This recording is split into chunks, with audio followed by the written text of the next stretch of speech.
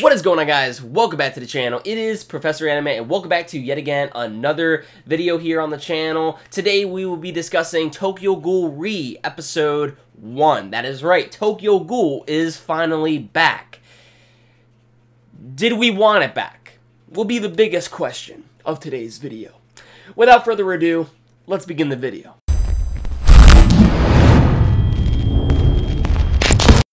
Alright, so Tokyo Ghoul is finally back, people, with a brand spanking new anime. This is technically part 2 of Tokyo Ghoul. Sure, we had Season 1 and Season 2 of the original Tokyo Ghoul, animated by Studio Pierrot.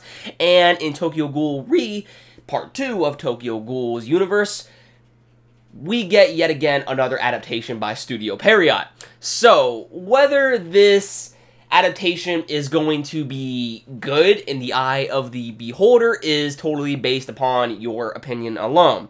And my opinion is going to differ from everyone else's opinion. So please keep that in mind when it comes down to this video. I love Tokyo Ghoul. I, you know, do live reactions to the weekly chapters that come out every single week and all I gotta say is that it is a fantastic series. Now, Tokyo Ghoul Re's anime okay? Finally, we got a brand spanking new anime for Tokyo Ghoul. But the thing is, did we really want it? Because of the mishaps that have happened in the previous seasons of Tokyo Ghoul. Tokyo Ghoul Season 1 was actually okay, I personally felt. They did make it more shonen-esque, but for the most part, it was actually a very well, you know, adapted piece. Now, Season 2 of Tokyo Ghoul is where everything went haywire from Studio Pierrot. There were just things skipped over, did not make sense, and simply just, you know, they did not follow the manga whatsoever. Now, when it comes to Studio Pierrot animating Tokyo Ghoul Re for at least this very first episode, they do follow the manga. However, when it comes down to the episode, they adapted a total of six chapters of the manga six chapters, and several events or explanations, more specifically, were skipped over.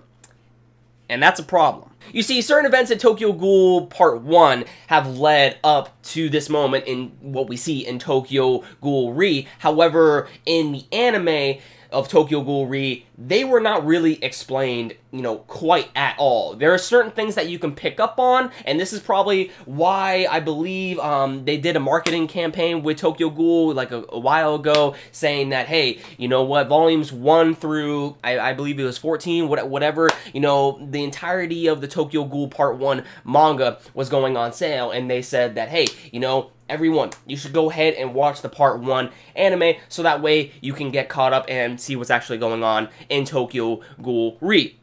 And while that probably would have helped, the thing is, is that in this first episode of Tokyo Ghoul Re, the thing is, is that several explanations were actually skipped over as to how the world is as of right now. I don't really know if they'll explain that later on or not, but they adapted a total of six chapters of the manga. And when it comes down to you anime onlys out there of Tokyo Ghoul, I honestly just go ahead and read the manga because trust me, you're missing out on a lot of content when it comes down to Tokyo Ghoul.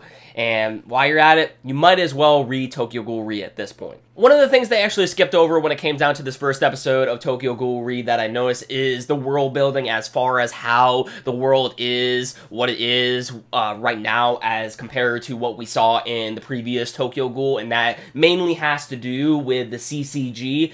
As we see in this first episode of Tokyo Ghoul Re, we actually noticed that some of the investigators have technically been ghoulified in a sense, you know, there's like a little ghoulification process that has been undergone in the CCG that has caused some of, you know, the units within the group to actually possess ghoul-like powers.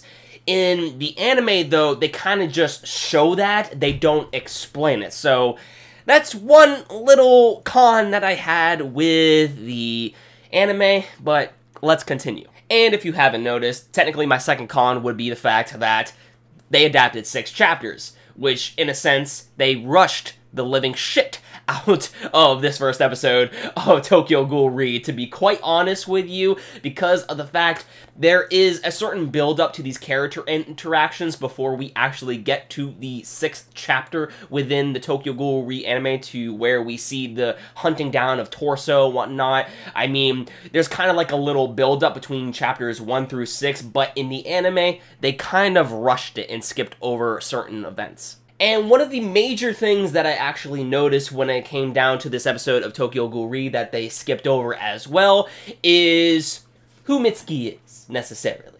Okay? Um, later we find out some, you know, interesting things about Mitsuki, and there's a certain event that takes place within the manga with uh, Torso and Mitsuki in the uh, taxi cab. Um, we actually see a certain event play out that is kind of like a, oh, okay. You guys will probably know what I'm talking about.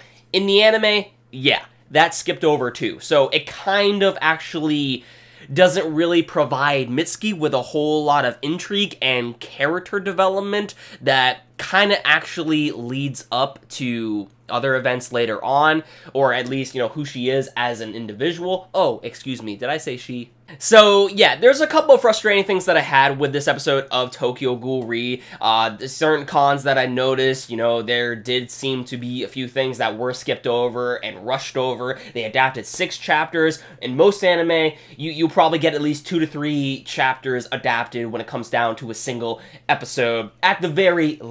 But this episode adapted six chapters, so everything was quite rushed.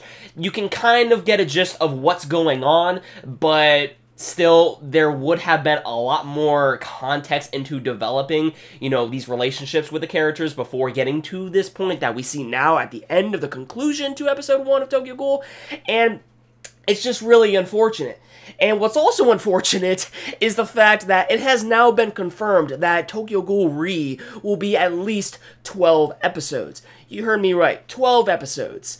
Now, this could possibly change. We could probably get we most likely will probably get another cour of Tokyo Ghoul Re, but as far as what's airing right now, yeah, we're getting at least 12 episodes, not 24.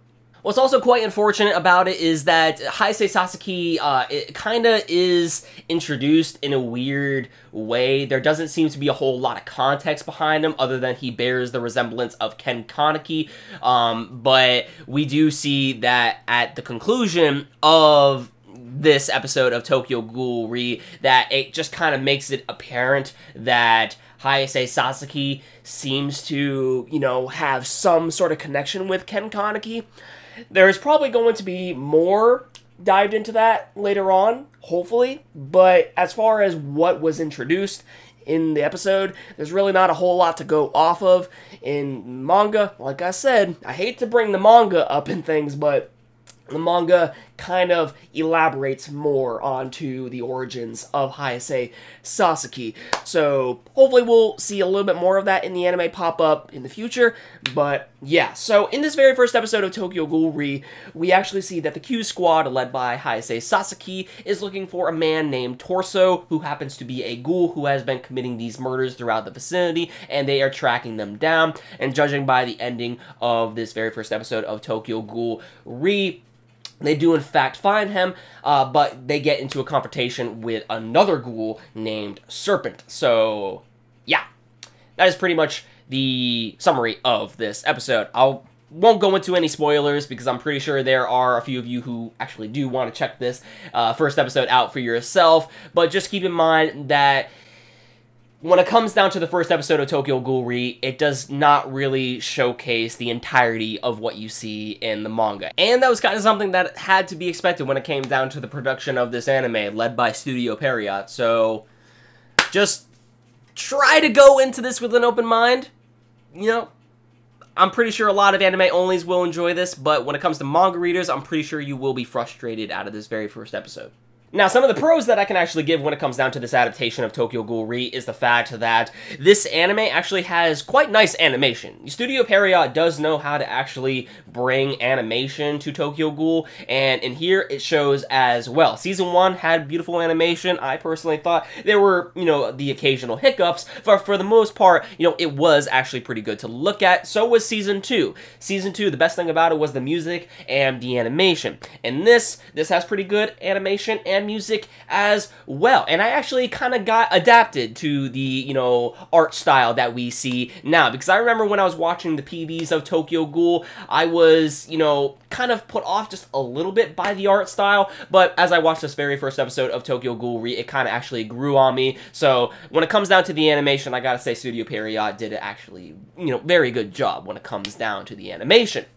But yeah, and, and the character, the, the art as well, when it comes down to the character designs, is good as well. But yeah, that is honestly the only thing that I can really say uh, that really is good about this is the you know animation and music um, i'm liking the voice actors as well uh, but yeah certain events on how the story played out when it comes down to these six chapters that were adapted it just it, it was rushed i don't know why they decided to you know make you know, six chapters adapted within one single episode. I mean, I get that you have at least, you know, a 12 episode time frame that you need to complete, but I mean, mm, come on.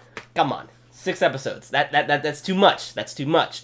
So yeah, when it comes down to anime onlys, you guys will probably really enjoy this episode of Tokyo Ghoul. I mean, it's back. I actually am glad Tokyo Ghoul is back, but at the same time, just judging how this first episode was handled, it really does pose a lot of worry to the rest of the series out there. And yeah, it's probably going to be, you know, not that good, you know, in the coming episodes. Uh, but at least they're following the manga this time around. Am I right? But yeah, let me know what you guys thought about this episode in the comments down below of the very first episode of Tokyo Ghoul Re. How did you like the animation? How did you like the fight scenes? How did you like the voice acting? Just let me know everything in the comments down below that you liked and you disliked about this episode. And with that said, everyone, let me know your thoughts in the comments down below. Be sure to give this video a big thumbs up if you enjoyed, and if you're glad that actually Tokyo Ghoul Re is, or Tokyo Ghoul in general, is back. And subscribe to the channel if you want to see more videos from me we'll see where the Tokyo Ghoul Re anime leads us. With that said, everyone, thank you everyone for watching. Catch you all in the next one. Peace out.